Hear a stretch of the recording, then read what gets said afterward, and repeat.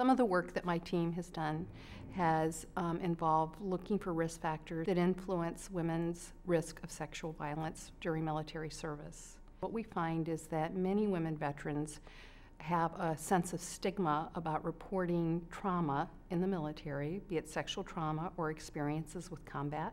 Many of them are concerned about privacy or confidentiality. Many think that they have symptoms that aren't treatable, so they begin to self medicate. When in the VA, we have treatments that can help them for PTSD and depression um, and other problems related to their military service. So, the work that we're doing is using web based interventions. Web based interventions allow women in the privacy of their own home to go on their computer, complete screenings for common mental health conditions, um, be it PTSD, traumatic brain injury um, intimate partner violence, um, depression, and so they can screen themselves, hit a button, immediately receive their screening results, and it helps them in the privacy of their own home understand what's going on.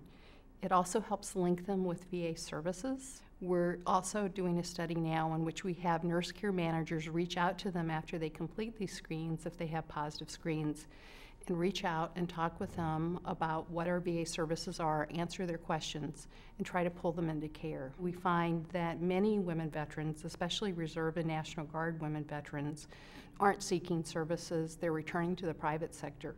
And we're glad if they get care anywhere, but we in the VA are uniquely suited to treat post deployment health conditions like post traumatic stress disorder.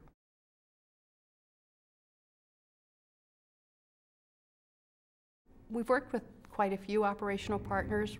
Ken Weingardt is the National Web Director for Mental Health Services, and he's been wonderful in helping us navigate how you use web based interventions and how to translate those into My HealtheVet and VA services so that we can help women um, with their screening results hopefully connect to our web based medical system. Susan McCutcheon is the head of military sexual trauma services and also family services in the VA.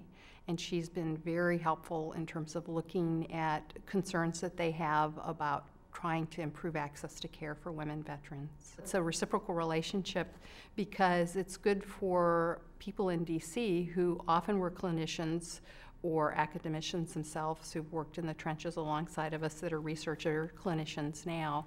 Um, it helps them stay current in what current needs are, and it also helps them guide us and pull us along in terms of um, system changes in the VA that we may not understand.